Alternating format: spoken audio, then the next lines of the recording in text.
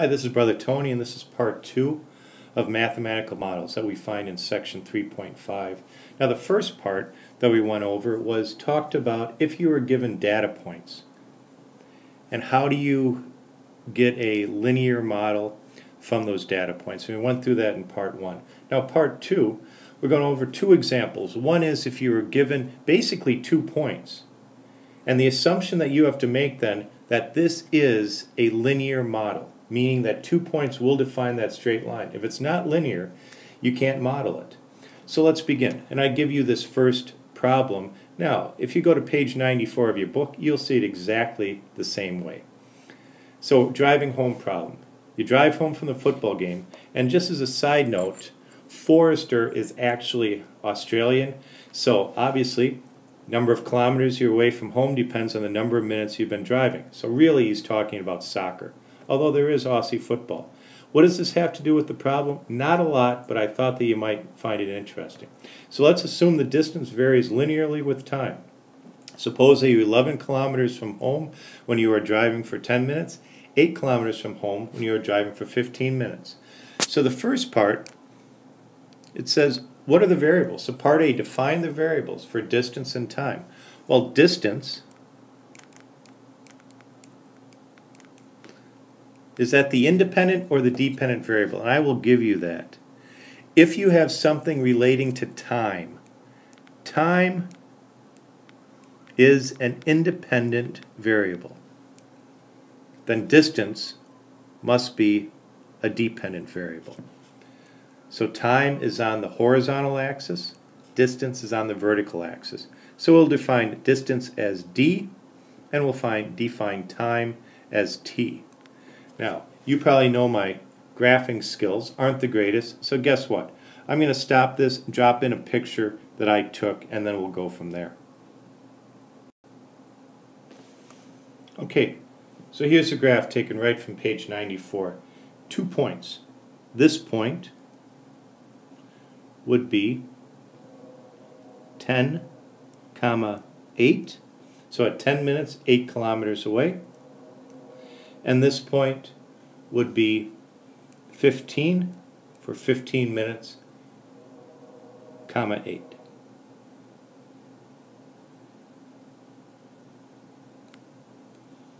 Okay, so what this means is that would be 10 comma 11. So at 10 minutes, 11 kilometers away. At 15 minutes, 8 kilometers away. Okay, let's continue with this. Okay, so the second thing we want to do is we want to find that particular equation expressing distance in terms of time. So two points, what does that do? Let's find the slope. And then what do we do after the slope? We find b. Okay, two points, I find the slope. y2 minus y1 over x2 minus x1. The slope is negative 3 fifths. After the slope, you plug it into our slope-intercept form. I use the first two points, 10 and 11. So 11 equals negative 3 fifths times 10 plus b. b equals 17. So our mathematical model is y equals negative 3 fifths x plus 17. We could also say the function of x equals negative 3 over 5,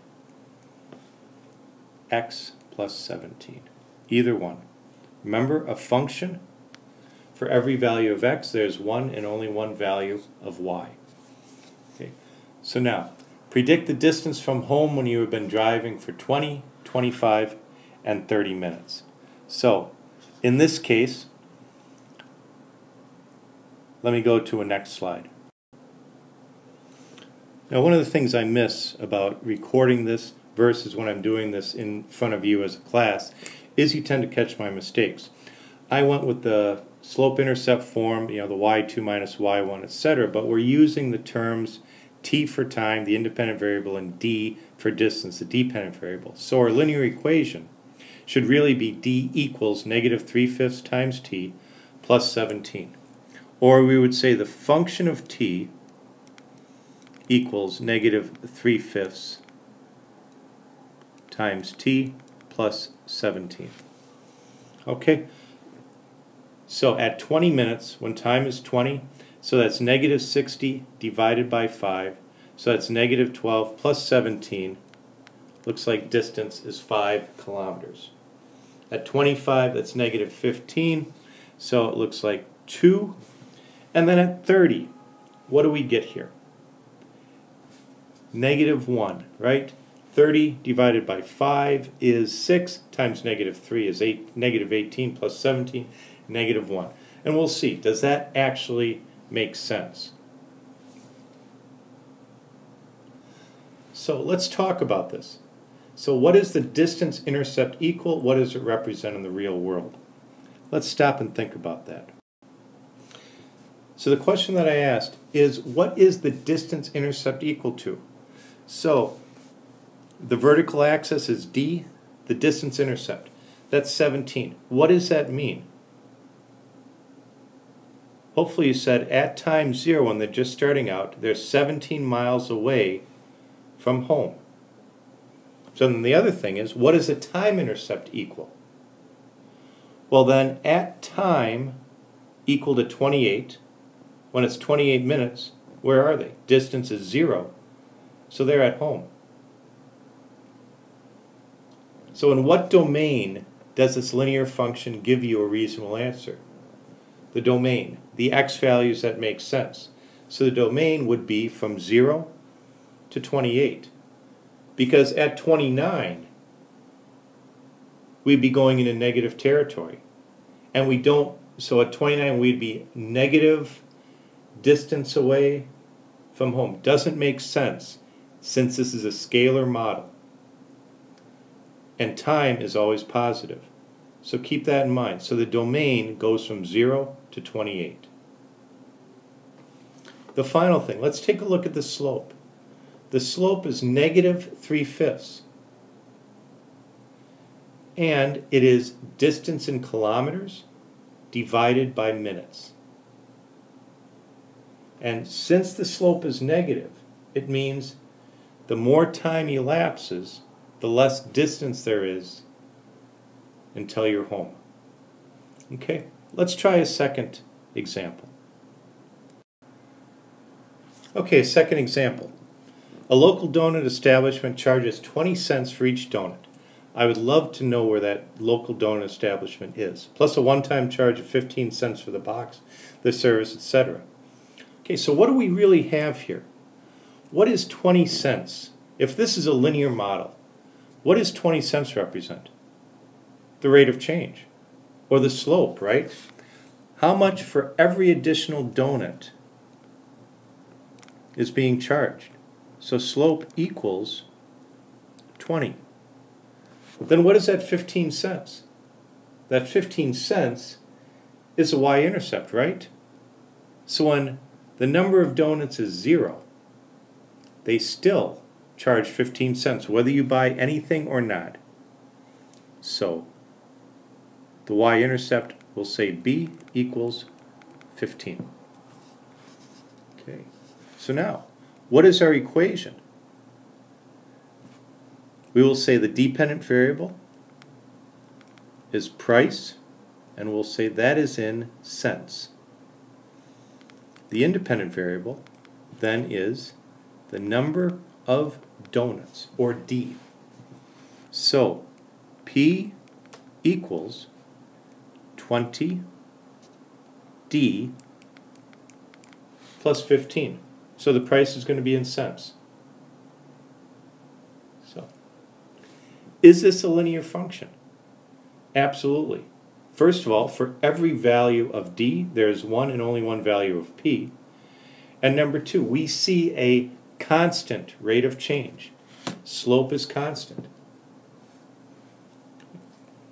So, how much for a dozen donuts? Well, that's pretty easy, right? So, when the independent variable is 12. What's the dependent variable?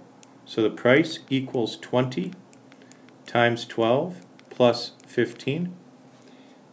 12 times 2 is 24. Add a 0 there. 240 plus 15. So the price in cents is 255 or $2.55. You can go backwards.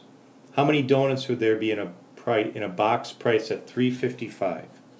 So 355 equals 20D plus 15. So minus 15 from both sides. 340 equals 20D. Divide both sides by 20. And what do we get? Looks like 17. 17 donuts in that box.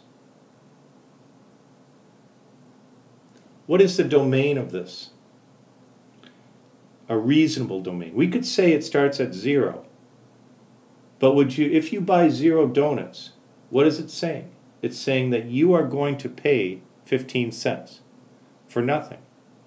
So the domain would probably start at one donut